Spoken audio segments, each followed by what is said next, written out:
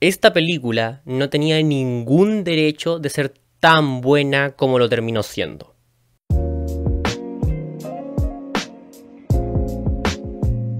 Bienvenidos seres humanos que tuvieron la genial idea de hacer clic en este video, bienvenidos al canal Pancho en 70 milímetros en esta oportunidad para dar una opinión express de la nueva película de Apple TV, Tetris, protagonizada por el gran Taron Egerton. El primer punto positivo que voy a destacar de esta película es que la historia es intrigante. Estamos hablando de un grupo de personajes que se pelea los derechos de Tetris en la Unión Soviética. Es una historia que se siente loquísima, pero el tratamiento de la misma es aún mejor. Hay tensión, hay comedia, hay sorpresas y todo eso narrado de una forma realmente memorable. Tanto es el caso que esta es la primera película en meses que genuinamente me tuvo interesado en personajes secundarios dentro de la historia, porque aparte del protagonista hay varios otros personajes que son sumamente carismáticos, simpáticos o con una presencia realmente atemorizante.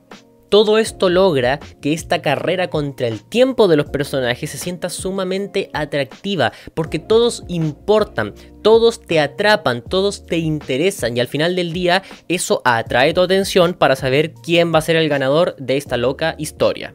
El segundo punto que quiero destacar de esta película es Taron Egerton, un actor que siempre me ha encantado, que siempre me ha parecido competente y que en esta película vuelve a demostrar que tiene una presencia magnética. Él resulta ser el pilar fundamental de esta película, su carisma, su simpatía, cómo te contagia la energía de su personaje, es realmente destacable. Además, no hay que dejar pasar el hecho de que hay unos momentos dramáticos dentro de la historia que están sumamente bien logrados, tanto por Taron Egerton como por todo el resto del elenco. Así que en general, Tetris es una muy bien actuada película. Y por último, pero no menos importante, el ritmo es maravilloso. Esta es una película que exuda estilo desde todo punto de vista. Por un lado tiene una historia sumamente intrigante, por otro lado tiene personajes muy pintorescos y por otro lado tiene una dirección y un montaje sumamente destacables en todo momento tiene una situación pasando, en todo momento sentimos la presión del tiempo sobre los personajes y en todo momento está esta mezcla entre comedia negra y drama que envuelve todo en una experiencia realmente sobresaliente. Deben recordar igualmente que esta película podría haber salido mal en miles de ocasiones. Podría haber salido mal por su guion, podría haber salido mal por la historia, podría haber salido mal por una dirección incompetente y nada de eso ocurre.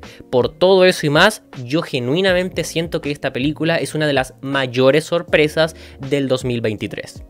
Sin embargo, si tuviéramos que entrar en algunos aspectos negativos, yo diría dos en particular.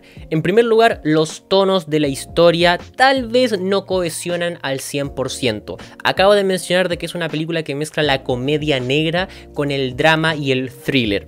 Y yo siento que por momentos eso no calza tan bien. De repente estamos viendo algo súper serio y se remata con algún chiste o con algún gag visual que la verdad rompe un poco la atmósfera. Esto no me parece algo grave realmente, pero he leído varios comentarios de gente que critica un poco la película por esta mezcla extraña entre comedia y drama, y algunos prefieren por supuesto más el drama que la propia comedia por el contexto histórico en el que se desenvuelve la historia. Entonces, si ustedes son sensibles ante las mezclas de géneros, esta película los puede dejar un poquitito incómodos. Y por último, pero no menos importante, la representación histórica puede sentirse bastante ficcionalizada. En mi caso esto no es un problema porque a mí no me interesa tanto la historia y yo no tengo ningún problema con alguna representación un poquitito más libre de algunos acontecimientos, pero si tú eres una persona que disfruta de la historia y que por sobre todas las cosas sabe bastante de la Unión Soviética, esta película te puede dejar un poco confundido. Sobre todo si mezclamos la comedia negra que acabo de mencionar con esta representación histórica, porque por eso muchos pueden sentirse afuera de la experiencia. Así que en conclusión, aunque la historia sea caótica y los tonos no siempre cohesionen de la mejor forma, Tetris me ha fascinado. Taron Egerton comanda la pantalla con mucha personalidad, la dirección exuda estilo y el ritmo no podría ser mejor.